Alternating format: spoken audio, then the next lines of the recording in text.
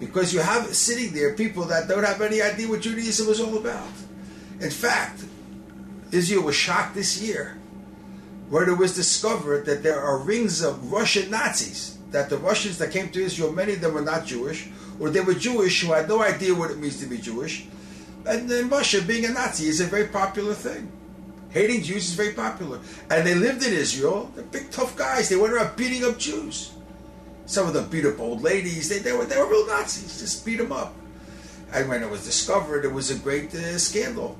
In Israel, Nazis but uh, if you bring people like this, who are intermarried, have no interest in Judaism, and they're pure Russian culture in the sense that they hate Jews, what do you expect? So this is a great crisis that uh, all these people were brought to Israel. It was a it was a it was a very dangerous thing that was done because you basically put into your midst people that don't have any idea what it means to be Jewish. But again, we have uh, very um, viable and vibrant outreach organizations. As I say, my children are involved in them, and they're doing great work. And there are many young Russians going out there. They have smicha, they are rabbis, they have been ordained, and uh, the men and women they're going out there. The Russians that really know how to study Torah and teach Torah, and incredible things are being done. The same thing happened in Israel with the Sephardim, the North African Jews. They came to Israel, and uh, the Israeli government in 48 wanted to secularize them.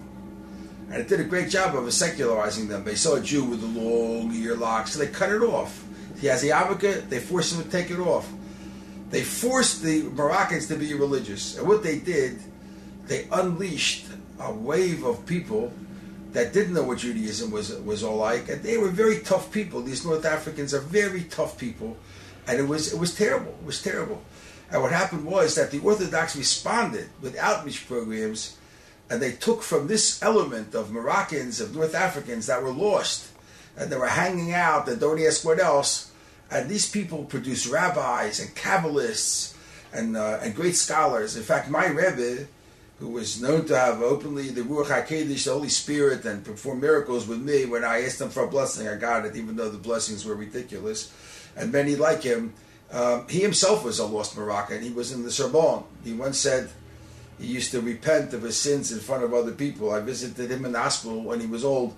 He said, He said, I slept with a thousand women. He was in Sorbonne in Paris, a young, young, handsome man.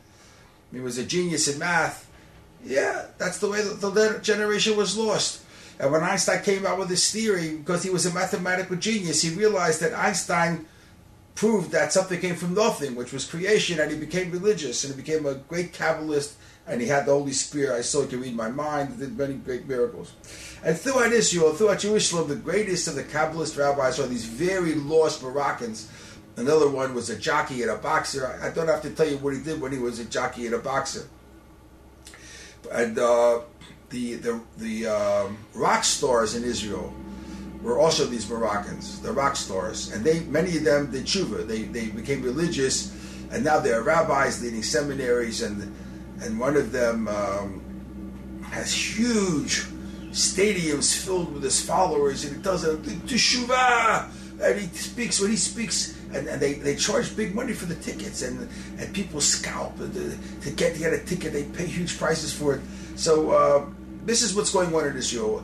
With the Moroccans, the Israeli government with the secular ideas destroyed a generation because they themselves, the Israeli government, were comprised of these Russians that came and uh, tried to destroy religion. But the the the, uh, the merit of Israel, the land of Israel, the holiness of the land, did not allow the Jews to be destroyed. And the holiness of the land, and God's help, with a few tiny Orthodox uh, activists, produced a tremendous difference in the Sephardim among the Russians but still there are many lost ones, and Mr. Lieberman is one of the lost ones. So we have to keep this in mind when we talk about Russians. Mr. Lieberman is a terrible problem.